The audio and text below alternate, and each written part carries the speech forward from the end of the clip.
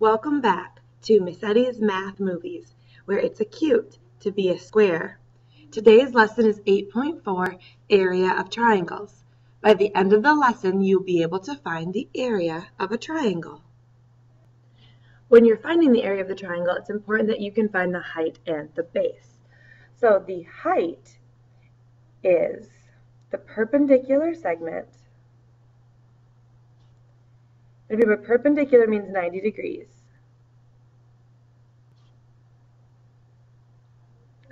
Segment or line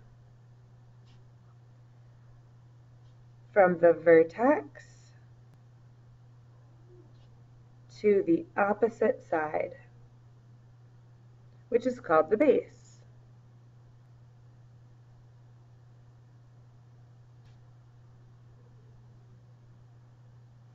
So we've got height and base. Height is the perpendicular segment or line from the vertex to the opposite side called the base.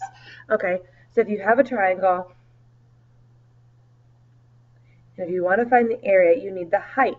So you need, you need to find the segment that makes a right angle. That's important. If you don't have this right angle, you don't have a height.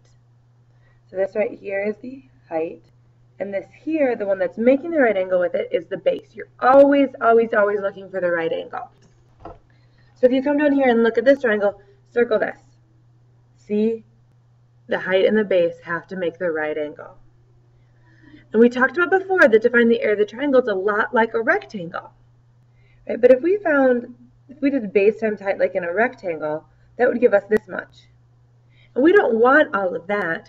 We just want half of that. So we're going to do the same formula as a rectangle, but then we're going to cut it in half because we don't want the whole rectangle, we just want half. The product of the base and the height. Compare and contrast the formulas for the area of a rectangle and the area of a triangle. How are they alike? Well, they both multiply base and height base times height. How are they different? Well, the triangle has the one half and the rectangle doesn't. Triangle multiplies by one half. The rectangle does not. It's just BH. All right, so triangle equals 1 half BH, rectangle equals just BH. Because a triangle is half of a rectangle. So let's do some examples. Circle this right angle. We're always looking for the base and the height to make a right angle. And remember, your first step is always to write your formula. Area equals 1 half the base times the height? Well, I know, I don't know area. I'm going to write my 1 half. The base is 10 and the height is 6. So 1 half of 6 times 10. So you can do 1 half of 10 is 5 and 5 times 6 is 30. Or you can do 10 times 6 is 60 and 1 half is 30. Once again, don't forget your units. Please show, do all your work over here so you can follow along. Find the area of the triangle. All right, circle this right angle. That shows you where your base and your height are. So write your formula. Step number one is always to write your formula. The formulas get more complicated, so you have to make sure you're writing them down. The base is 8 and the height is 5. Half of 8 is 4. 4 times 5 is 20. 20 feet squared. So here was a right triangle. Here's an acute triangle. Now we're doing an obtuse triangle. Notice the height's outside, but that's okay. We still have to use it. It has to make the right angle. That's so important. See, the base and the height make a right angle. All right, first step is to write the formula. Next step is to plug in. The base is 12 and the height is 6. Half of 12 is 6.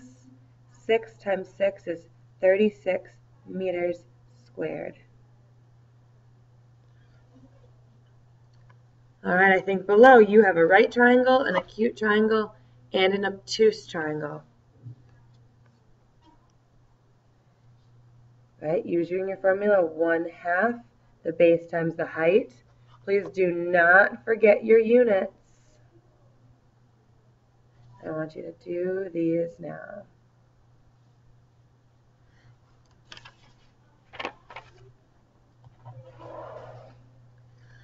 Now we have to find the height of the triangle.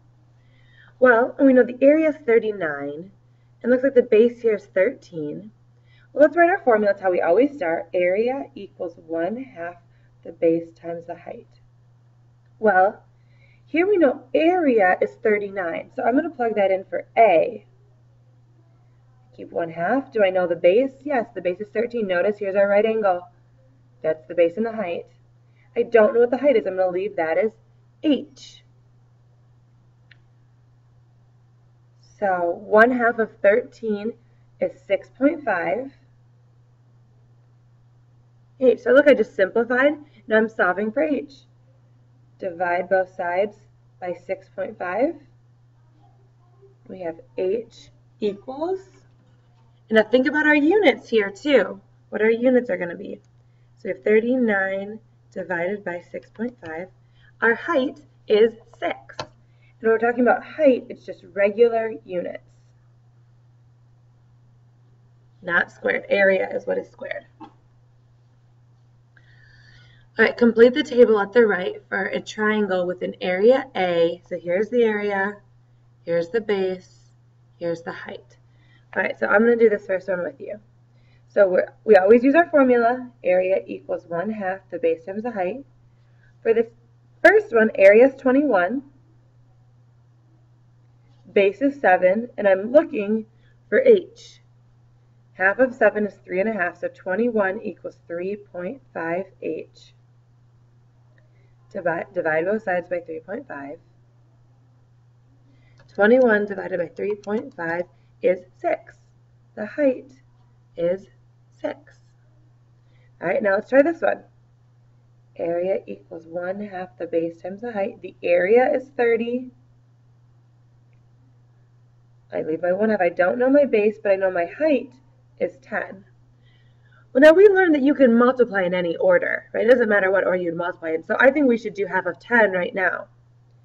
30 equals half of 10 is 5. So 5b Divide both by 5. what do you know? We get 6 again. It's a coincidence. All right. Last one. Area equals 1 half the base times the height. You need to get in the habit of writing your formulas. And I don't know A this time, so I'm going to leave A as A. And my base is 8, and my height is 4. All right, 1 half of 8 is 4. 4 times 4 is 16. Area is 16. All right, so please, please, please write your formula every time and plug in what you know. Don't forget your units. This is just like example three. You need to go back and look. I want you to do these now. Our last example is finding the ratio of the areas of similar triangles. So if you remember back the last chapter, we talked about similarity. All right, and so we need to find the area of one and put it over area of the other. All right, so let's do the area of this triangle.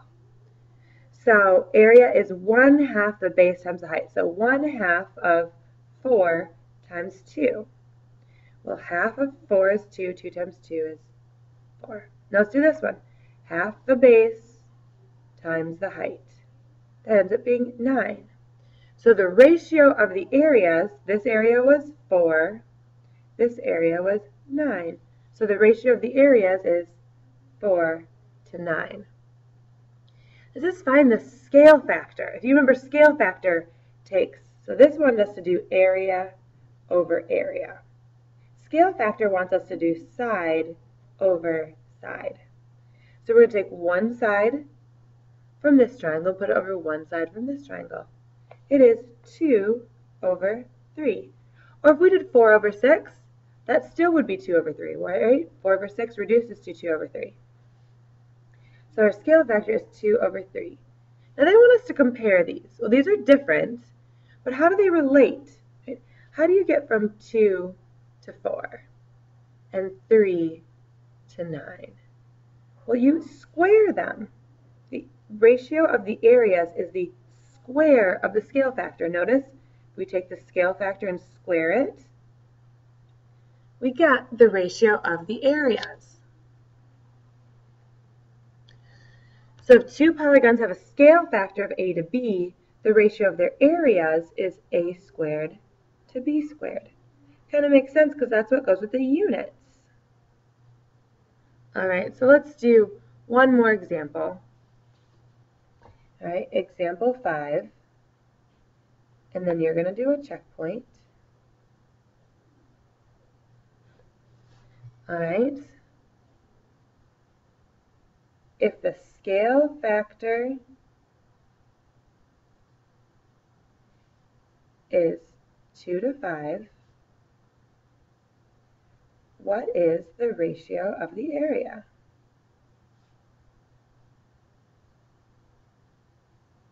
Areas. Well, we just learned you take your scale factor and you square it. So 2 squared, 5 squared, that makes 4 over 25. All right, so here's yours. If the scale factor is 7 to 3, what is the ratio of the areas? All right, do this now. This is M cubed signing out.